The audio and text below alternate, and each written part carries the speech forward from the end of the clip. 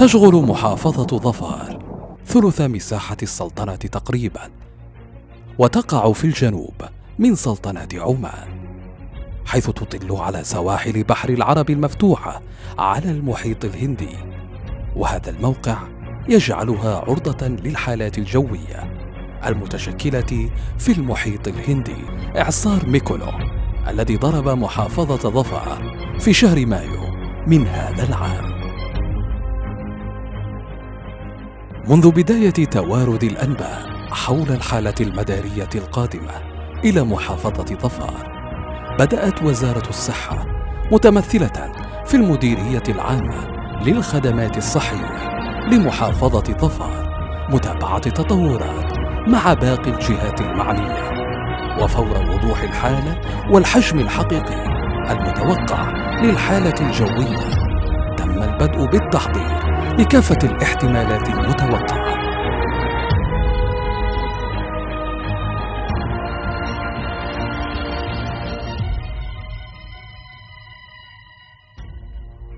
شملت الاستعدادات جميع المؤسسات الصحية بمختلف ولايات المحافظة العشر حيث أن التوقعات تشير إلى تأثر جميع الولايات بالإعصار القادم.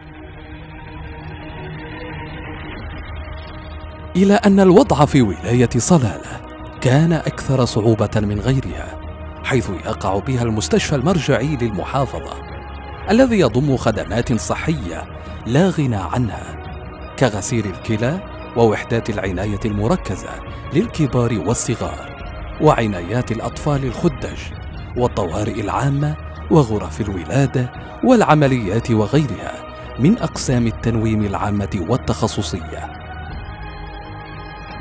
تقرر إخلاء المستشفى احترازيا نظرا لاحتمالية تأثره بالأمطار والسيول.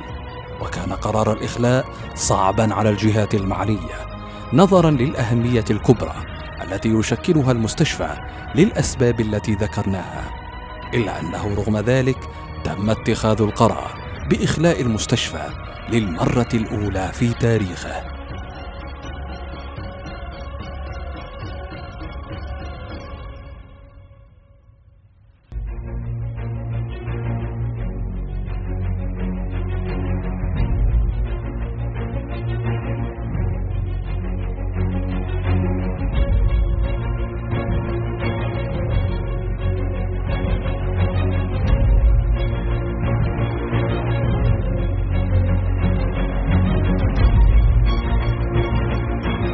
يتمتع مبنى مركز القلب بموقع جيد من حيث الارتفاع وتوفر الخدمات حيث أنه مبنى حديث وهذه العوامل أهلته ليكون البديل المؤقت للمستشفى حيث تم تحويل عيادات وساحات المركز إلى قسم الطوارئ العامة وتم تنويم بعض الحالات الحرجة في غرف العناية المركزة به وكذلك بعض حالات الغسيل الكلوي.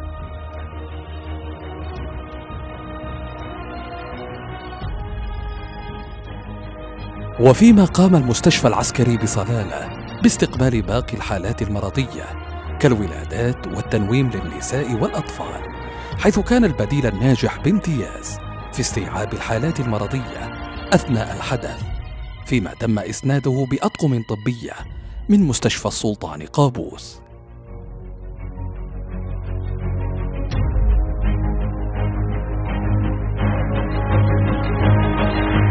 كانت وزارة الصحة ممثلة في معالي الوزير وأصحاب سعادة الوكلاء على تواصل دائم مع المديرية في ظفار لحظة بلحظة منذ الساعات الأولى. وقدمت كل الدعم للمديرية من خلال مركز إدارة الحالات الطارئة الذي لعب دورا هاما ومفصليا في نقل المرضى وإخلائهم جوا إلى باقي المحافظات. كما قدم المركز الدعم الكامل للمديرية طوال فترة الإعصار كما قام بتنسيق نقل واستقبال مرضى العنايات والحالات الحرجة إلى مختلف مستشفيات المحافظات العمانية الأخرى. حيث بلغ إجمالي من تم نقلهم جوا إلى 333 شخصاً.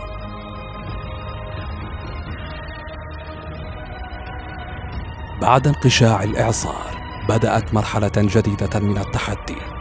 وهي إعادة الأوضاع إلى ما كانت عليها قبل الحدث حيث تأثرت الكثير من المؤسسات الصحية وتم إغلاق وإخلاء الكثير منها خلال فترة الإعصار وتم إعادة العمل تدريجيا إلى مستشفى السلطان قابوس ليكون مشهد عودة المرضى المحولين خارج المحافظة هو النهاية السعيدة لكل تلك الجهود التي بذلها رجال الصحة الأوفياء من كل الفئات الطبية والفنية والإدارية.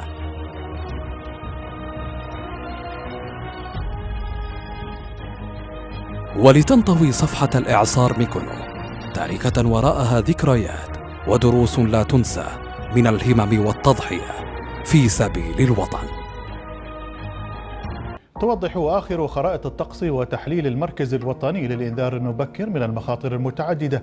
تمركز العاصفة المدارية لبان وسط بحر العرب على دائرة عرض 12 وما هي إلا أشهر قليلة؟ وهي السلطنة تواجه إعصارا ثاني. هذه المرة إعصار لبان. كانت التجربة الماضية في إعصار ميكونو ما زالت حاضرة في الأذهان مما جعل الخبرة التراكمية تكون عاملا معززا. للآداء في كافة القطاعات وخاصة في القطاع الصحي. وعلى الفور تجاوبت وزارة الصحة مع تحذيرات الأرصاد الجوية حول نشوء هذه الحالة المدارية القادمة. إعصار لبان الذي كان متجها نحو سواحل محافظة ظفار وجمهورية اليمن الشقيقة. أعلنت جميع المؤسسات الحكومية والأهلية في محافظة ظفار جاهزيتها لمواجهة جميع المخاطر المتوقع أن يخلفها الإعصار. وبالتأكيد كانت المديرية العامة للخدمات الصحية إحدى هذه الجهات التي بدأت التحضير المبكر والاستعداد من خلال تكوين اللجان والبدء في الاجتماعات التحضيرية والتجهيز على كافة الأصعدة. وبدأت المديرية بالتعاون مع باقي الجهات داخل الوزارة تنفيذ الخطط التي تم إعدادها مسبقاً. للحد من آثار الإعصار المتوقعة ومن أبرز ما تم إخلاء مستشفى السلطان قابوس. تم استيعاب إخلاء المستشفى هذه المرة داخليا في مؤسسات المحافظة الصحية الأخرى.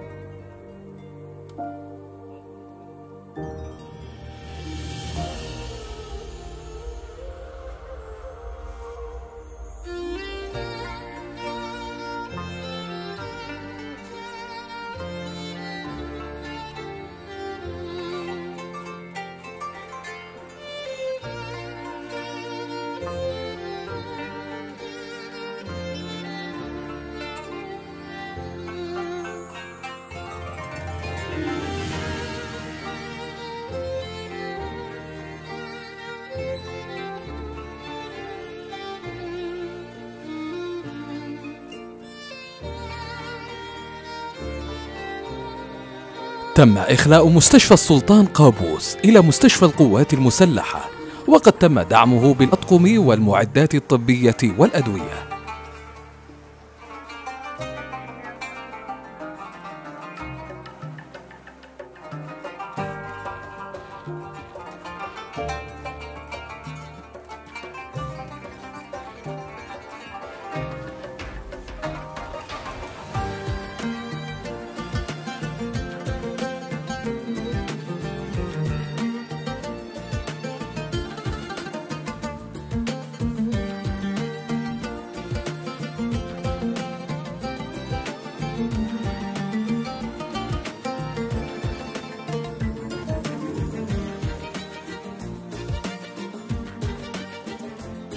وكذلك إلى مركز القلب بصلالة حيث استمر المركز بتقديم خدمات الطوارئ والعنايات وحالات غسيل الكلى طوال فترة الإعصار.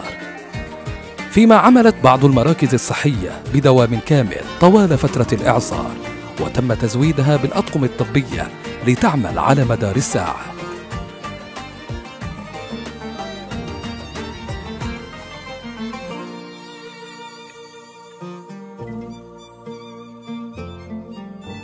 كذلك تم تعزيز جميع المؤسسات الصحية بالأدوية والمستلزمات الطبية الضرورية وتوزيع المولدات الكهربائية عليها كخطوات احترازية ضمن جملة من الخطوات التي تم اتخاذها.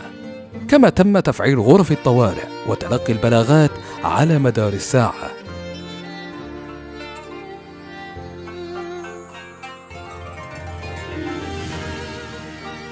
ومع الوقت تبين تغيير اتجاه الإعصار نحو السواحل اليمنية.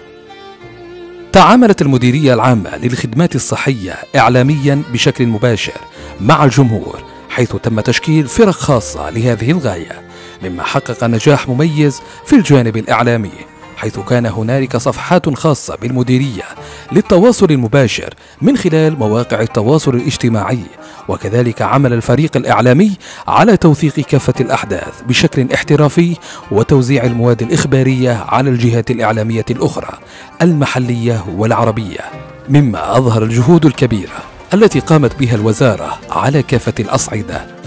وهكذا انقشع الإعصار وعادت جميع المؤسسات الصحية إلى العمل بخطى حثيثة إلى أن تم إعادة الخدمات الصحية إلى طبيعتها.